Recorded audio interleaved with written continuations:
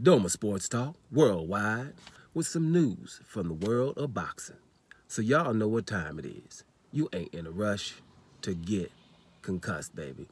Now, brother ain't doing too well, so I couldn't uh, chime in on the big fight over the weekend. Tim Tszyu stops your boy Tony Harrison in round nine in a dominant performance, uh, which I couldn't watch much of until now. So, you know, I leave my comments. I've heard uh, several things, you know, it, to, look where it looked fixed or Tony Harrison looked shot, uh, you know, because he wasn't doing anything that normal Tony Harrison does. So, you know, I'm going to look at it myself and um, I'll get back with you on that. But I will chime in on this. Uh, Tim Tszyu will be America's darling in a minute here. I know he's Australian, but he will be America's darling uh, because he beat a brother uh, who's uh, considered to be a top five super middleweight, right? So therefore, or excuse me, junior middleweight, right? So therefore, uh, you know, he'll be heralded. Now, us that are old enough to know his father knows damn well that the, his father was bad as hell, okay? I think we all like some Kostya Tszyu. I used to like his demeanor, and, you know, he would go about tearing people ass up. You know, I didn't think he was going to lose anything. I mean, Ricky Hatton did beat him, uh, but uh, I didn't expect that to happen. Matter of fact, we had a lot of confidence in Kostya Tszyu at the time. So Tim Tszyu, uh, you know, has the same cloth, and he did a damn good job. Uh, but I don't want to uh, say too much about the fight until I've watched it totally. But uh, like I say, I just think that Tim Tszyu is going to get a lot of props here. Now, what I want to chime in on, though, on the most is this undisputed stuff, right? Jermell Charlo is undisputed, really undisputed. Not like Canelo, where he was given a belt, right? Not like Teofimo Lopez, where there's a franchise title in the mix. And all I don't agree with is that a fighter that's in one sanctioning body gets a shot at undisputed, and after that fight, he's undisputed. That's not fair to the ones who had to go and collect the belts, right? Have uh, a few fights to collect the belts. Like, for example, we'll just stay with Tim Tszyu for a minute. I think, for example, he fights Jermell Charlo for the, what is he, WBO mandatory, I think it is.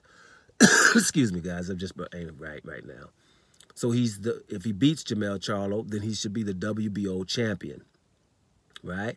Jermell Charlo should get a rematch, and if he beats him again, then he's undisputed because then he should be fighting for the other titles.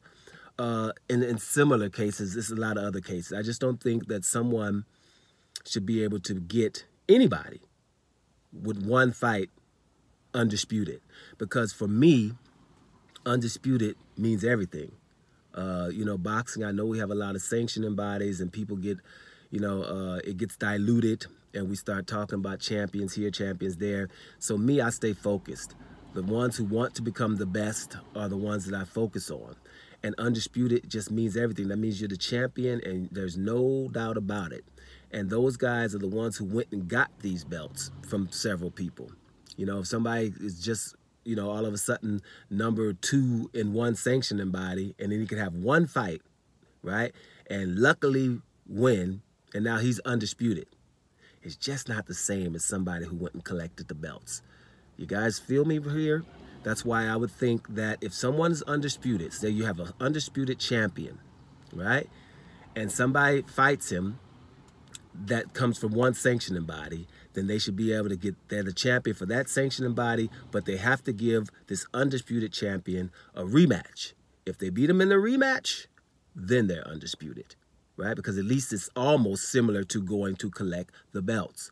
For example, let's go to Devin Haney, right? Devin Haney uh, had to, you know, go to Australia to fight Kambosos for the rest of the belts. Actually, he was undisputed because he brought the WBC belt to the to the table but he had to sign a contract to fight twice. Then he's undisputed, although he was already. You know, it's things like that. Some people go and do it the hard way, and some people do it the easy way. We don't like that. For example, I'll bring Canelo up again. There's no way I would be calling him undisputed when we know damn well that somebody for the WBC was taking away the hardest guy in the division, David Benavidez, and then we just give him the title. Now, people don't realize that. That's why I say it over and over and over again. Canelo was given the WBC title, and we're calling him undisputed like we call all the other ones. And this is after after he didn't fight for undisputed in the middleweight division, where he would have really been undisputed with one fight against Demetrius Andrade. So he goes up to the the the, uh, the weight division higher, and he fights guys that are definitely easier than Demetrius Andrade. I think we can all agree. Billy Joe Saunders, uh, uh, Caleb Plant, and somebody else, Callum Smith. I think we can all agree that's easier than Demetrius Andrade. And then you're given the WBC title. So that, I just can't rate that as people who really earned it the hard way. So anyway, man, I'm gonna go on and uh, you know take it on in right now, get myself together. But I'm just saying is this: um, Tim Tszyu, he's gonna fight Jermell Charlo. Uh, I think if he beats him or whatever, then he should just fight him twice and then he should be undisputed. I don't think there should be any shortcuts until undisputed. That's my point here.